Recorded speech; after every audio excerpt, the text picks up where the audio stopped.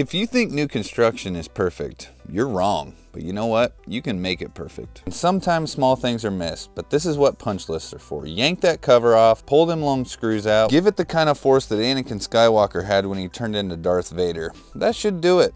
And just like that, it's good as new. Oh wait, it is new.